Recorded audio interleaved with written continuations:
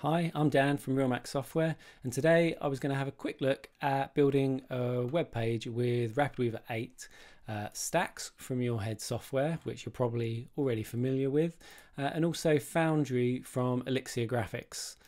Uh, Foundry is uh, a collection of stacks uh, for the Stacks plugin.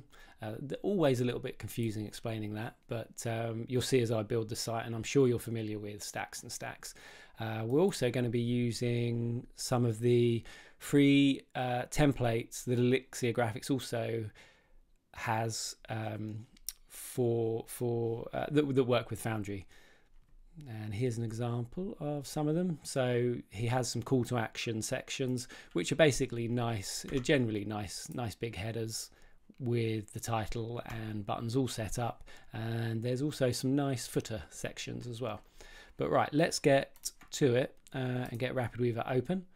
I'm going to create a new document and we're going to add a stacks page. Then we're going to need we're going to need to select the Foundry theme. Uh, this is important because otherwise it's not going to work. So if I hit preview, we've got a nice blank page to work with. I'm going to open the library section, get the inspector open, so we can see what's what's going on. Now I've collected all the Foundry stacks into a little collection here and separated them away from from the main collection of everything because otherwise it's just it's a bit too much to search through. So uh, everything that we need should be should be in here and I also have the mason stacks there. Right uh, let's get started. First of all uh, you need the foundry control center. This is where a lot of your a lot of the main overall settings for your for your the look of your site is set. So let's throw that in there. We need a container uh, to contain our website. We're going to get a couple of columns and let's have a look. Let's get a header in here and another one in that column. I always throw in some dummy content as quick as possible just so we can get an idea for the layout of the site. So if I hit preview now, you'll see we've got two columns, very plain basic website. But hopefully this will build up pretty quick now. So let's get the, um, I'm not sure what's going on there. Right, let's get the navbar pro in. Uh, hit preview and we've got a nice navbar. It's not looking the quite the way I want it, but uh, we'll we'll get back to that. Uh, now let's let's put in a header. I'm just going to refer back to here because uh, they're actually, let's have a look. Uh, I fancied this one. Um, this call to action number eight. There, ah, here we are. Let's drop that in there. Perfect. Let's preview that.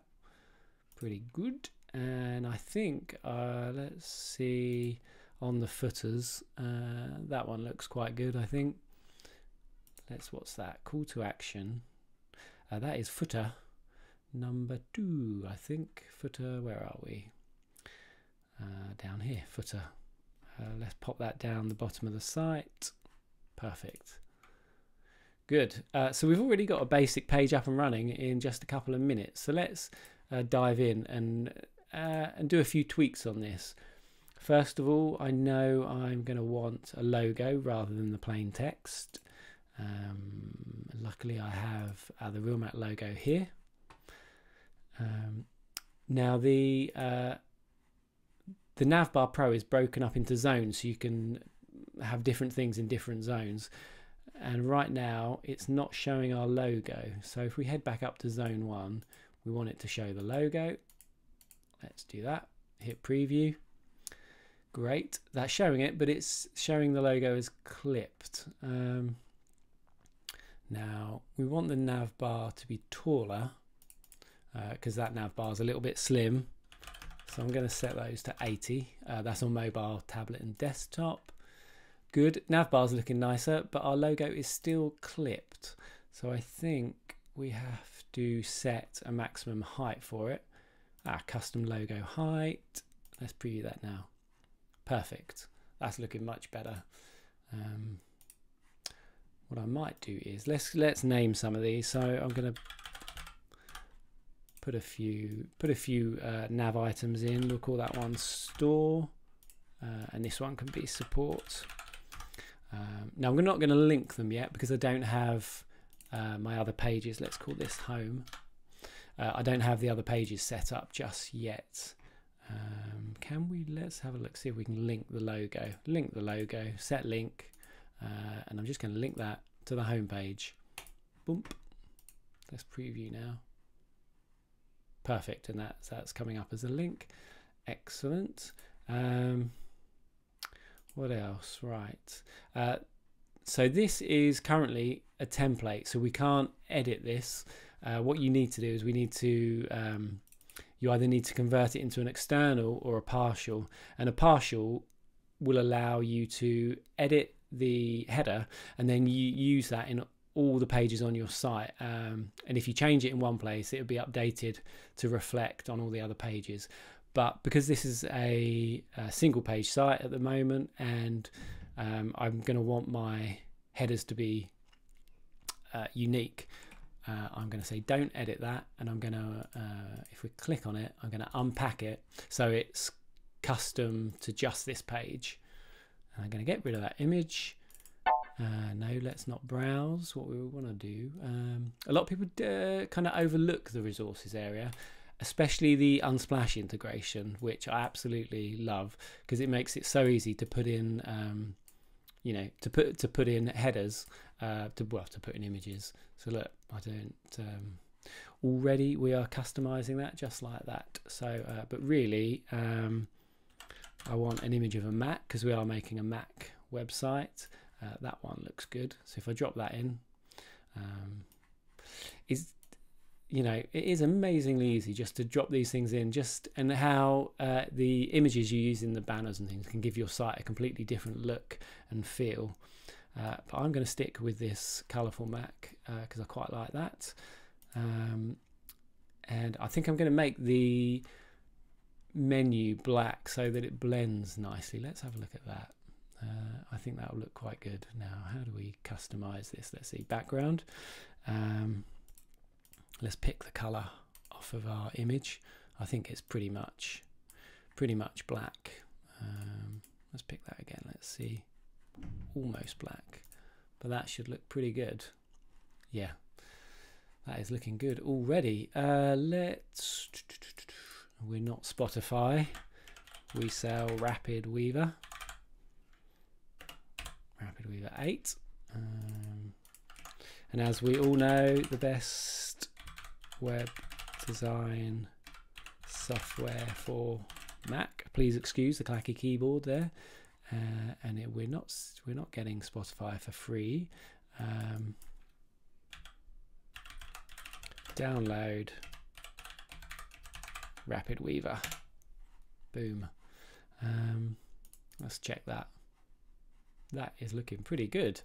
Um, not sure on the green button, so let's see if we can we can customize that. We'll go purple because the the uh, the RapidWeaver logo has purple in it, so that will look pretty good. Uh, make that a bit darker. Nice. Uh, apparently, it does have a shadow on that. Let's just in case we'll make that there. Nice. That is looking pretty good. Uh, let's, with our content, let's create a bit of uh, padding so it's not bunched up so much. That looks pretty good. Um, let's see what else. Uh, ah, let's see if we can customize customize these buttons up the top here because I don't really don't really want those to be turquoise okay, let's change the hover state. We'll, we'll go, let's go purplish again to reflect the website, uh, to, reflect, to reflect RapidWeaver rather. Excellent, uh, and we'll make the we'll make the active state purple as well. Um, so that's, I mean, that's that's pretty good. Let's uh, copyright Realmac software.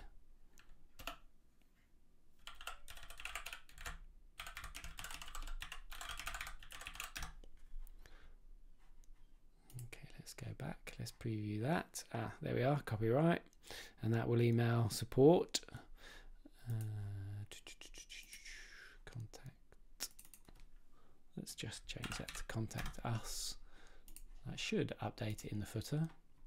Yeah, perfect. Um, I think the same, because the footer's a template as well, I could unpack that. Let's see how these are set up.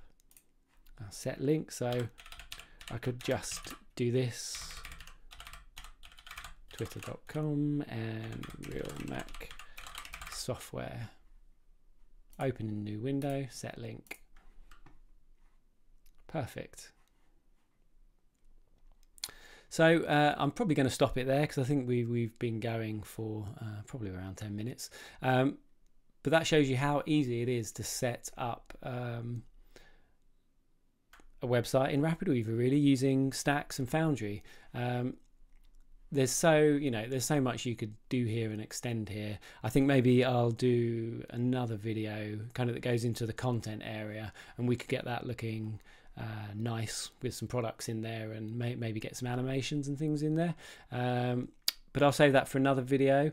If uh, if you did find this useful, please let us know, uh, and I can and we can carry on this series, or maybe put together a small series to show you how to build the Realmac website or a similar site to the Realmac website, and kind of go into detail and flesh out all, all the pages. Um, good. All right. Hope you did find this useful. Thanks a lot and happy weaving.